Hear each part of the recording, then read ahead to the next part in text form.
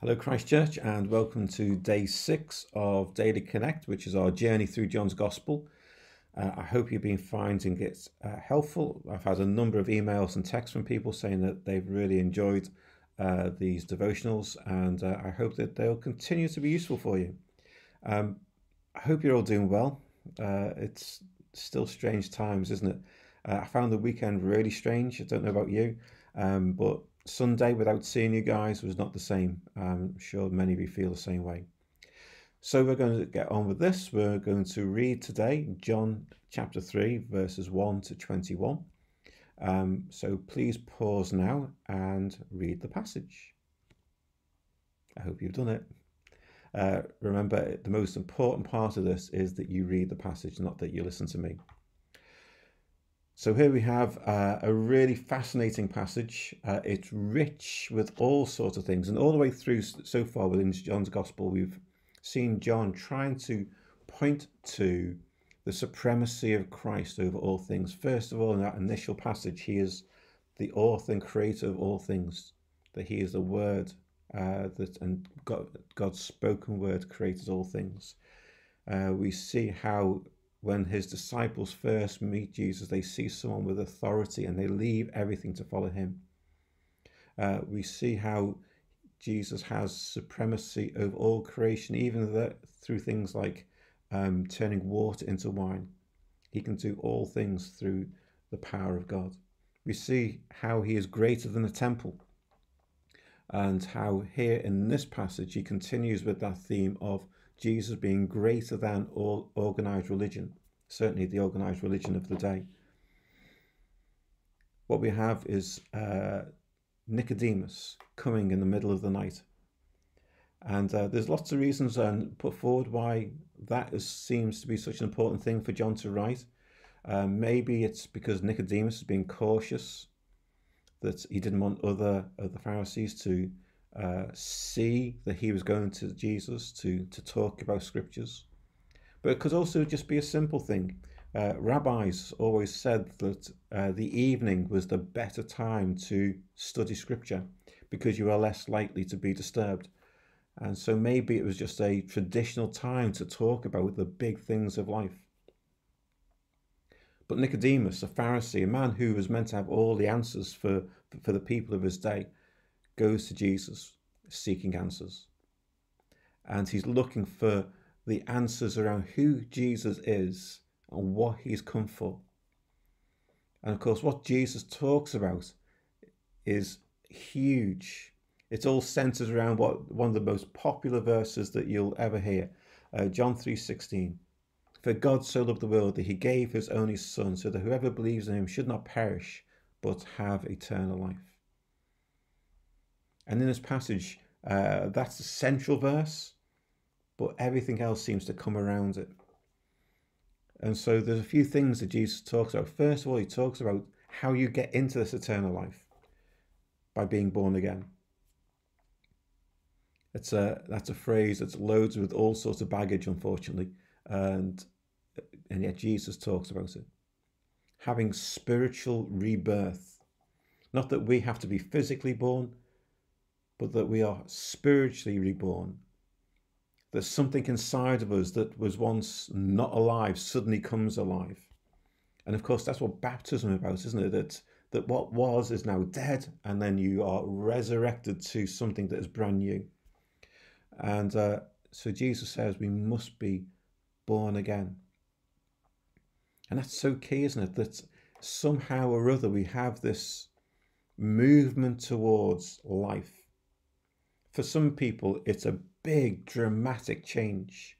For others, for, for, me, for instance, it was a slow process over a number of months where I suddenly knew I was different. I was reborn. I was born again.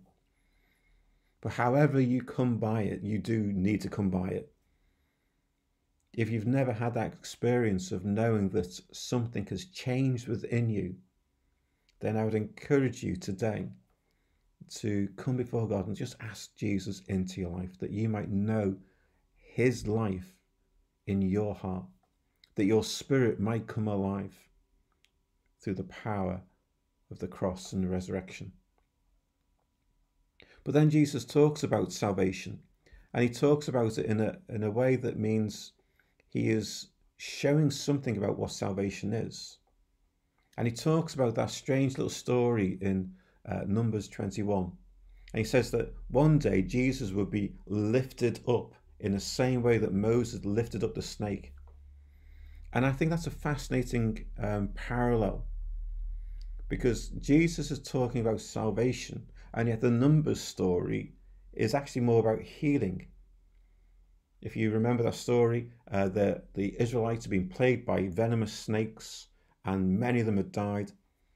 But when uh, Moses lifted up a snake on a bronze stick, when they looked to the snake, if they'd been bitten by a snake, they would be healed.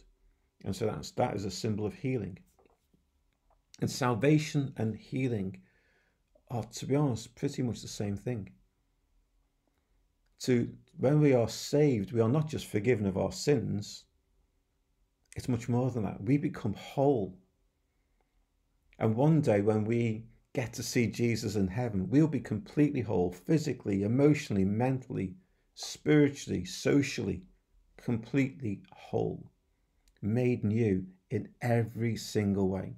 See, being born again is a process. We are still babies, but one day when we get to see Jesus, we will be completely whole, completely new.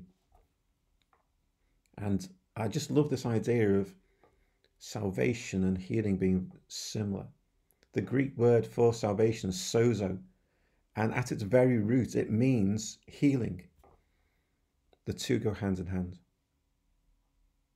And then finally, Jesus talks about the outcome of our salvation that we are free from condemnation, that we live in freedom, knowing who we are, whose we are, knowing why we're here, knowing that all that we have done wrong in the past no longer is baggage on our shoulders, dragging us down, but we are free. It's fantastic, isn't it? That you can live life now free from all the burdens that you've carried with you for so long. See, Jesus is supreme over all things, and in your salvation, when you come to Him, there's nothing else that you need or need to do. You simply come to Him. Let me pray. Let me pray for you that you might know the full wholeness, the completeness of salvation in your life that you may keep growing in that so that one day when you get to heaven, you'll know that you have been set free from all things. Let me pray for you. Heavenly Father, I pray for my brothers and sisters now. Lord, I pray for whoever is watching this, that today that they may know deep in their heart what it means to be born again. That they may know your healing, saving power in their lives. I pray that they may walk in freedom from condemnation. Lord, I pray that they may understand what it truly means to be saved. What John 16 truly means that we may have eternal life, and eternal life is all of all the goodness of God poured into our hearts so that we might be whole, complete, new, born again. Lord, may they know your salvation, I pray. Amen. So let me encourage you today. Stay connected to God. Stay connected to the one who will bring you salvation and healing. Goodbye.